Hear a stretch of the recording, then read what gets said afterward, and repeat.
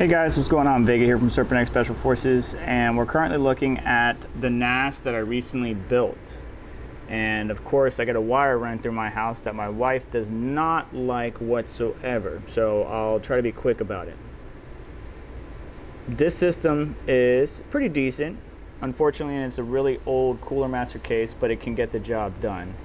Let me go over the specs here for you, and then we'll talk about what my plans are.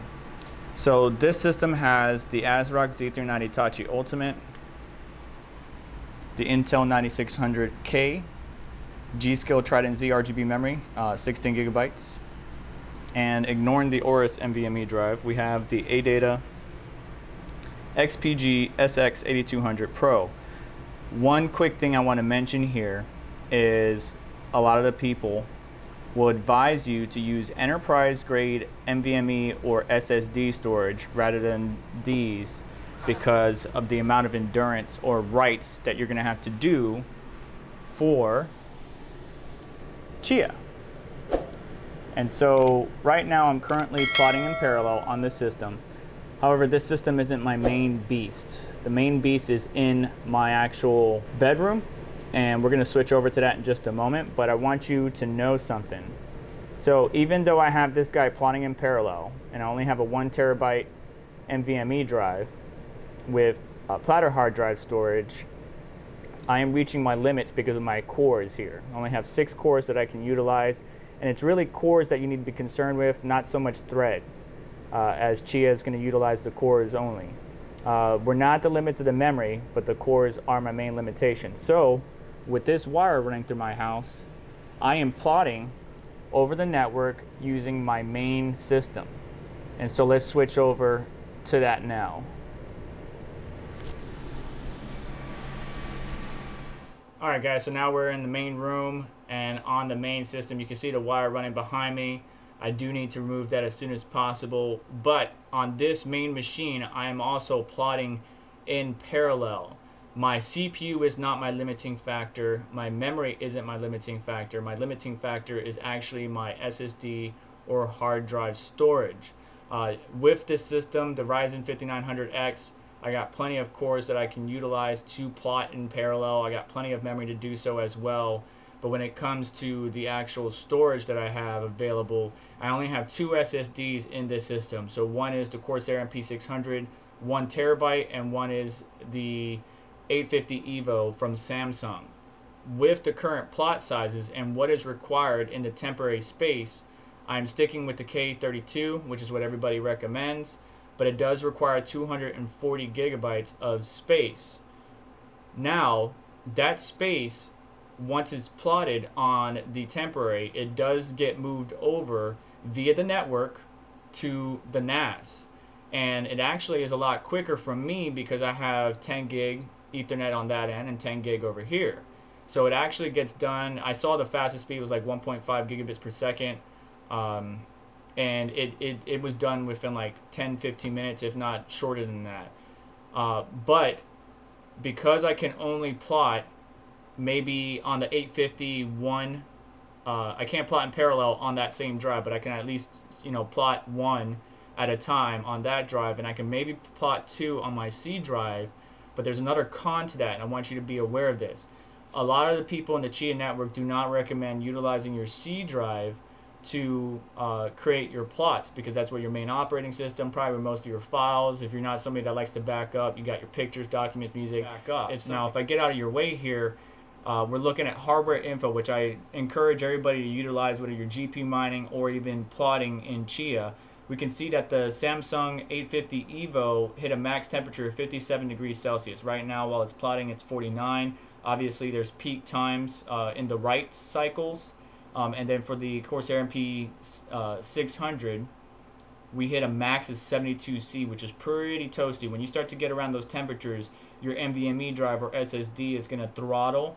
Uh, each SSD has a different threshold, and, and when it hits that threshold, it will start to throttle its speeds uh, which can decrease uh, the you know how quickly you create these plots.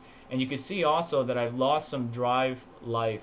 So I'm only down to 94%, which isn't a lot, but I lost basically 6% since I started plotting more and more.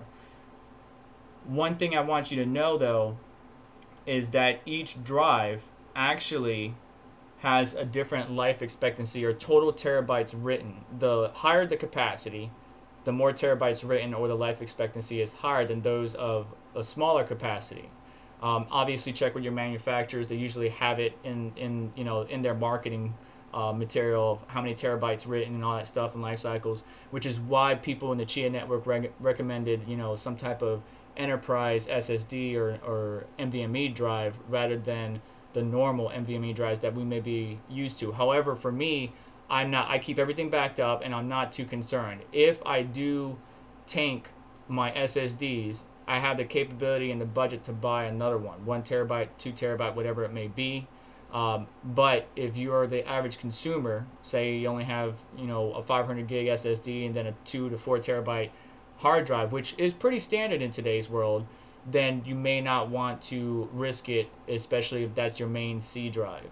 Um, additionally, you know, plotting over the network with two machines actually helps me out. If I actually started to spin up my son's machine while he's not, you know, utilizing it for whatever, I can actually plot over the network as well. And so I have multiple machines. You could even take a laptop uh, to build plots temporarily and then export it or put the final on an, an external hard drive of some type. And I have shown that uh, with an external hard drive, you can do it. I even seen on Chia, Chia Reddit where people got like 14 terabyte external hard drives. Boom, boom, boom, boom, boom.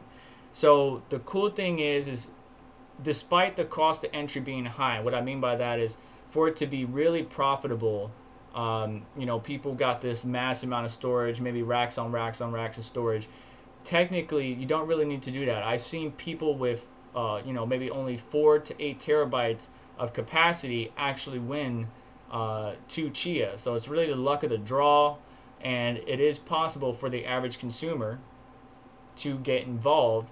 One and, and, and not only participate in the network, but uh, earn additional income. I guess uh, you're gonna have to weigh out whether or not this is something you want to get into. If you got the capacity, you're not doing anything with your hard drives, then great, go for it. But if if this is something like oh I can't risk you know uh, decreasing the life expectancy of my SSD or NVMe drive, then maybe not so much.